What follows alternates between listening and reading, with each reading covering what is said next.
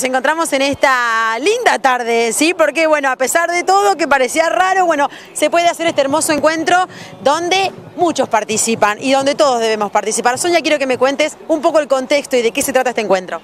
Hola, buenas tardes. Bueno, este, este es el Día Internacional de las Personas con Discapacidad y es un, digamos, esto fue declarado por eh, la, la Asamblea General de Naciones Unidas en el año 1992.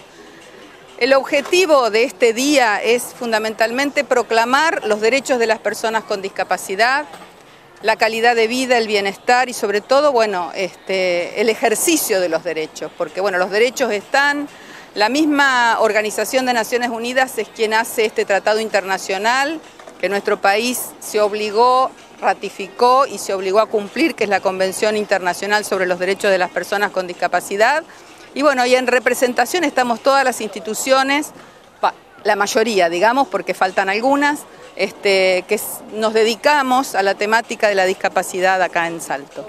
bueno, hay que decir, ¿no? En nuestra ciudad eh, mucha gente se ocupa de esta temática, como bien dijiste, pero siempre falta algo, siempre hay algo más para hacer, ¿verdad? Y en realidad el ejercicio de los derechos es lo que, porque la normativa es muy amplia, es muy abundante. Argentina es uno de los países que está en, la, a la vanguardia en cuanto a normativa y legislación. Pero la problemática fundamental y que bueno, lo hemos visto con la pandemia que se ha agravado la situación, es el ejercicio de los derechos. Bueno, eh, hablando de ejercicio de los derechos, hay también derechos a la educación, ¿no? Como, como que son tan importantes también. Y en este, en este marco y en este día también es un momento importante para que se conozca todo el trabajo que realizan desde, adentro de las instituciones. Sí, hola, seguramente. Bueno, buenas tardes. Eh, sí, realmente nosotros creemos que este tipo de eventos eh, son tan importantes para nosotros porque, bueno, podemos mostrar y demostrar que eh, nuestros alumnos también aprenden, que, pueden como todos y que bueno, que como decía Sonia, hay parte de la sociedad que todavía aún es como que eh, no hay una cierta aceptación o, que cuesta eh, incluir en ciertos espacios. Pero bueno, creo que de a poquito es un camino que venimos haciendo, que creemos que está que estamos avanzando y, y, bien, creo que bien. Eso, ¿no? Digo, ¿se viene visibilizando mucho más últimamente? Sí, sí, yo creo que sí. Eh, estamos siendo como mucho más vistos, más escuchados y bueno, esto es muy importante lo que dice Sonia de, la, de realmente eh, estos derechos, ¿no? Que, luchar por ellos, por estos derechos, porque bueno, eh, que me parece genial y que la gente nos apoye. Bueno, aquí importantísimo también a cargo de una institución que hace poquito estuvimos por ahí y estaba en obras. También contame cómo va esa obra, porque también es importante que tengan un espacio cómodo para estar donde tienen que estar. Sí, por suerte este año logramos la ampliación del centro, estamos en obra, estamos en la primera etapa, todavía falta una segunda y una tercera, pero bueno, eso nos va a garantizar que los chicos tengan más espacio para sus terapias de salud y mm, bueno, garantizar también mayor eh, eh, asistencia. Eh, y, esto, los, eh, ¿vinieron los chicos? ¿Vinieron también los que, los que integran las instituciones? Sí, estamos viendo que hay muchas familias que están llegando, nos pone súper contentos que nos acompañen para pasar un grato momento todos juntos. Bueno, y hablando de grato momento, Suni, la artista, va a cantar, me imagino. Sí, sí. Nosotras venimos de parte de Mamis, en representación de las familias más que nada. Y también tanto como se trabaja en las instituciones, también trabajamos en las familias y es todo un conjunto de trabajo, no es que solamente se trabaja o en la casa o en la institución, es todo un conjunto.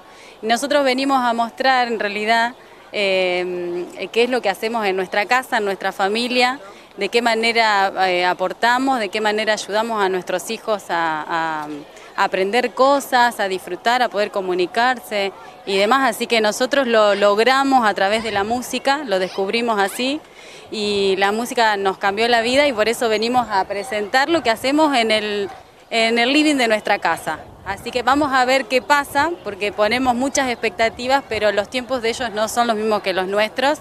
Así que vamos a hacer todo lo posible para que ellos puedan mostrar eh, lo que nosotros hacemos, lo que disfrutamos con la música y bueno, y si no se puede, haremos unas canciones y, nada, será entendido igual. Así que...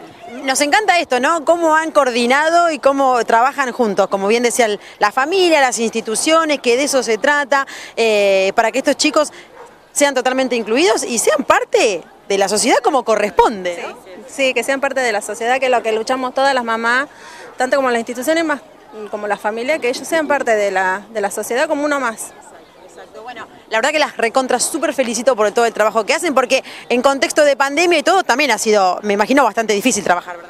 Sí, totalmente, pero bueno, hemos tenido buena continuidad y gracias a la familia y a los medios de comunicación hemos logrado mantener el contacto y el vínculo y hemos podido eh, con, mantener la continuidad pedagógica.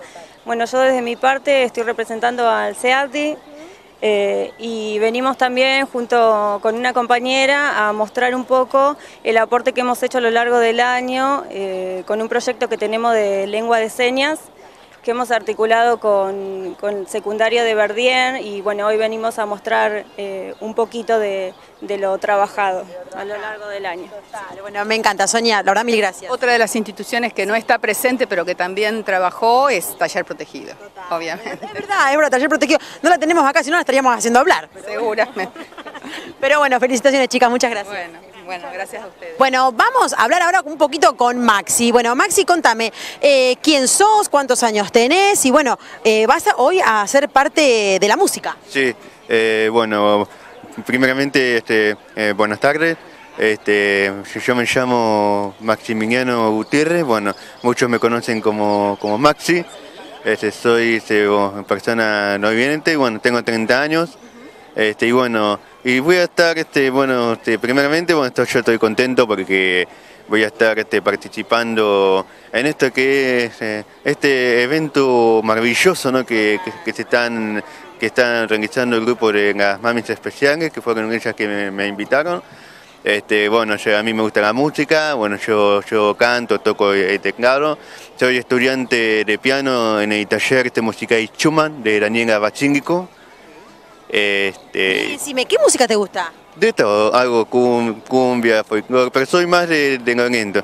Y bueno, y también este, yo estoy participando, bueno, yo estoy yendo a una, a una iglesia evangélica, bueno, también estoy, este, también me gusta todo lo que es este, el camino de, de Dios, ¿no? Este, eh, la parte espiritual, viste que es algo que, que eh, que a muchos quizás nos hace bien, ¿viste? Bueno, yo estoy este, sirviendo también en, en la iglesia, este, eh, tocando el teclado, bueno, en los lunes este, con, con, los músicos de la iglesia llevamos la alabanza y la palabra de, Dios a través de, de, las redes sociales, que es algo que, que, nos impulsó la pandemia, ¿no? El tiempo que en que no nos podíamos reunir, viste, no solamente en ámbito eh, espiritual, sino este, bueno, en el taller Schumann también te, eh, hubo que, que, también se enfocarse a lo, virtual y bueno, yo no pude seguir, viste, porque, porque no, no tengo mucho conocimiento con la tecnología, el tema Zoom y eso, así que no pude seguir. Pero... Contame, Maxi, ¿a qué iglesia vas? Nueva Jura, una iglesia que está en, en, la calle Profesor Domínguez entre San Juan y Jujuy. O sea, la Nueva Judá. Y escuchame una cosa, eh, entonces vos eh, los, los lunes, ¿qué días, ¿qué días la gente te puede ver a través, por ejemplo, de las redes sociales? Eh, bueno, a mí me pueden ver cada 15 días, nos, nos me pueden ver bueno, este, los, los, chicos están todos los lunes, pero yo voy cada 15 días. Bueno, nos pueden ver en el Facebook de Daniel Marina.